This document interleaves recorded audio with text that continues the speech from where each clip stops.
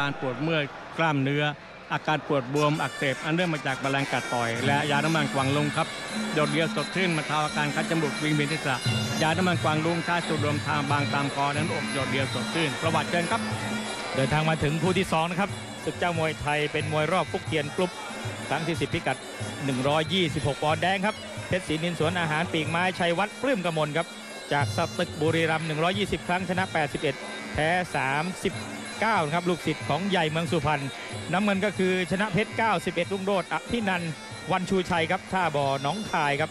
85 ครั้ง ชนะ 75 แพ้ 8 เสมอ 2 ไปพบอาจารย์นวาดคุณประสิทธิ์เดชเชิญครับครับ แล้วก็ผลการให้คะแนนของคู่แรกนะครับ กรรมการ 3 คนเลยครับธนาชัยจำนงสมรักสมมาตรธวัชชัยทองฤทธิ์ให้ฝ่ายแดงชนะ 49 ต่อ 47 เอกฉันขาดลอยครับ ศึกกตตรสพคลองแงะร่วมใจที่สนามมวยหอประชุมโรงเรียนคลองแงะอำเภอสะดาสงขลา 6 มิถุนายนนี้ครับจ่าจิตจนะจัดกับร้อยเชิง จ้อยนาทวีกับน้องวิว โรงเรียนกีฬานครศรีธรรมราชเหล็กเพชรปอเตลกุลกางาขาวโรงเรียนกีฬานครศรีเหมือนกันเขาบอกว่าเริ่มชก5โมงเย็นครับจะได้เลิกเร็วหน่อย ส่วนคู่นี้กรรมการผู้ชี้ขาดบนเวทีคุณอัศดาวุฒิพิลาวัน ให้คะแนนก็มีอิวยพรเขียวกุ้งดนายคงศรีแก้ว แล้วก็พิจิตรพรหมคงครับนะครับคู่ที่ 2 ของศึกเจ้ามวยไทยวันเสาร์ที่ 31 พฤษภาคมนะครับ เป็นคู่มวยแก้มือล้างตากันระหว่างทางด้านของเพชรศรีนินสวนอาหารปีกไม้กับชนะเพชร 91 รุ่งโรจน์กับคู่นี้เคยชกกันมาเมื่อวันที่ เมื่อไฟล์ที่ผ่านมาครับครับไฟล์ที่ผ่านมาที่เวทีมวยสยามอ้อมน้อยแห่งเนี้ยครับ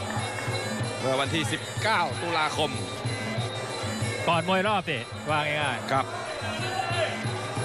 และไฟล์นี้เป็น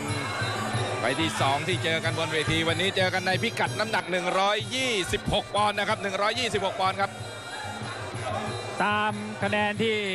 ออกมาเนี่ยเพชรศรีนินนี่มี 4 แต้มน่าจะเข้ารอบอยู่แล้วนะ ในขณะที่ชนะเพชรนี่มันมาแทน 2 คมครับ ตามโปรแกรมแล้ว 2 คมสิเจริญทรัพย์แพ้ 2 ครั้งไม่เอาแล้วไม่มาเลย เออ ให้ไม่ได้อย่างนั้นเอาละครับจังหวะฝีมือรูปร่างใกล้เคียงซ้ายกับขวาครับ แต่ว่าเพชรศรีนินสองแข้งสองการดนะครับสองแข้งสองการดครับบนเวทีอัสดาวุฒิพิลาวันกรรมการยอดเยี่ยมศึกเจ้ามวยไทยเวทีมวยสยามอ้อมน้อยคนล่าสุดครับ โอ้ยเนี่ยครับ ชนะเพชรศอกซ้ายอันตรายมากๆ นี่ฉันก็ดูการผ่านมวยนี่ต้องบอกว่าไม่ธรรมดาด้วยกันทั้งคู่เลยครับผ่านการชกคู่สำคัญสำคัญรายการใหญ่ ๆ ระดับคู่เอกเวทีมาตรฐานมาแล้วครับหมดยกที่หนึ่งพักสักครู่เดี๋ยวกลับมาที่อาการ 0849759098 และห้องงานจุดสามบริเวณพระราม9กับเรียกทำด่วนบางนา งามบางวาน และบางใหญ่ โดยคุณตำใจนิตินวกุล ติดตามชมยกต่อไปครับ ขอเรียนเชิญสิทธิ์เก่าโรงเรียนทุ่งใหญ่วิทยาคมทุกท่านนะครับสิทธิ์เก่าโรงเรียนทุ่งใหญ่วิทยาคมครับร่วมงาน ครบรอบ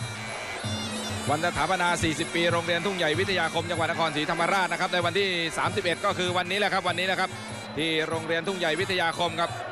คุณไตรรัตน์วีรพัฒนาสุวรรณนะครับ ผู้พิพากษาศาลอุทธรภาคหนึ่งฝากประชาสัมพันธ์มาครับอาจารย์ ครับก็มายกยกที่ 2 นะครับมวยรอบทุกเขียนกรุ๊ปนะครับ 126 ปอนด์ เพชรศรีนินสวนอาหารปีกไม้ นักชกจากอำเภอสตึกบุรีรัมย์สตึกนี่ก็เอ่อบุรีรัมย์เขาเป็นเมืองใหญ่ จังหวัดดัง สตึกก็มีนักมวยดีๆเยอะครับน้ำเงินก็คือชนะเพชร 91 รุ่งโรจน์มาอะเคยชกกันมาแล้วเป็นยังไงนะคุณประสิทธิ์ ทางด้านของเพชรศรีนินเป็นฝ่ายชนะคะแนนครับอ่าในการศึกเจ้ามวยไทยเวทีมวยสยามอ้อมน้อยอย่างเนี้ยครับอ่าเพชรศรีนินนั้นช่วงหลังๆนี่สะดุดแพ้ลำน้ำมูลแค่หนเดียวเท่านั้นครับ แต่ว่าแทงเข่าดอกนี้ สวยเลยทีเดียว อ้าวยัง นี่แค่ยกที่สองยังไม่รู้หรอก จะออกอะไร ออกแดงหรือออกน้ำเงินเพชรศรีนินนั้นมวยจากบุรีรัมย์นะครับ แต่ว่ามาซ้อมอยู่ที่สุพรรณบุรีครับอาจารย์อ่าของพี่ใหญ่เขาดิครับซ้อมอยู่ที่ค่ายพยักสุพรรณครับครับในขณะที่ทางด้านของชนะเพชรนู่นเลยครับ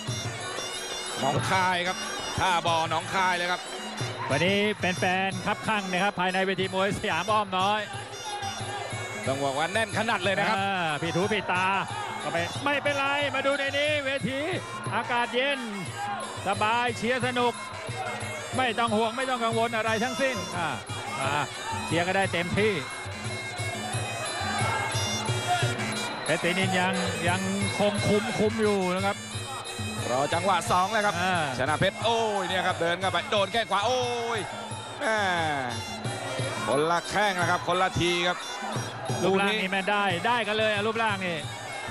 รูปร่างโครงสร้างนี่ได้กันเลยครับอาจารย์เออเตี้ยล่ำเท่าพอๆกันเอามาอยู่ที่เข้าทำก่อนแล้วได้ไหมชชนะเพชรอยู่ที่จังหวะแล้วครับใครจะพลาดใครจะหลุดใครจะหลงใครจะหลวมหมดยกครับหมดยกเดี๋ยวกลับมาทีวี 21 วิว 2รางวัลแล้วนะครับ ทุกเส้นเดือนยังแจกรถจักรยานยนต์เพิ่มอีก 1 รางวัล และสิ้นปีแจกใหญ่ครับรถกระบะอีซูซูอีก 2 รางวัล รายละเอียดนั้นติดต่อสอบถามได้ที่ตัวแทนหรือบริษัททุกเทงกรุ๊ป0743577727-30 เกษตรกรทุกท่านที่ซื้อปุ๋ยในเครือพวกเชียงกรุ๊ปนะครับ ท่านจะได้รับคูปองเพื่อร่วมจับรางวัลในรายการศึกเจ้ามวยไทย ช่อง 3 ถ่ายเข้าสดทุกวันเสาร์เริ่มเที่ยง 15 นาที มีมูลค่ากว่า 8 ล้านบาท ติดตามชมไม่ได้นะครับ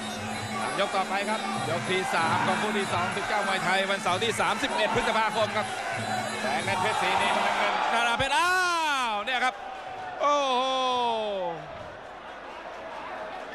เพียงเดียวหลับสนิทเลยนะครับ แต่ว่าอยู่ในความดูแลของแพทย์สนามครับ ไม่ต้องห่วงครับแพทย์สนามจากโรงพยาบาลวิชัยเวชนะครับ เดี๋ยวเดี๋ยวมาดูกัน ผมว่าแฟนๆยังไม่ทันตั้งตัวนะ เพราะว่ามันจะเพิ่งออกมาแวบๆเอง เดี๋ยวดูภาพช้านะครับอาจารย์ เออกมายกนี้มาแลกใส่กันเลยอะโอ้โหโดนศอกเข้าไปหรือไม่ยังเห็นชัดไม่ชัดเอาเขาบอกว่าศอกขวา เดี๋ยวดู ภาพช้าดูดูมาอีกทีหนึ่งลงเปลเลยฮะปกตินักมวยนี่ จะไม่ค่อยชอบลงเปลง่ายๆ ถ้าไม่หลับจริงเนี่ยอ๋อตรงนี้ครับจังหวะศอกครับกระแทกเข้าไปนั่นโดนเข้าปลายคางจุดโฟกัสเลยครับโอ้แม่อาวุธแม่ไม้มวยไทยนี่สวยงามครับดอกนี้ครับ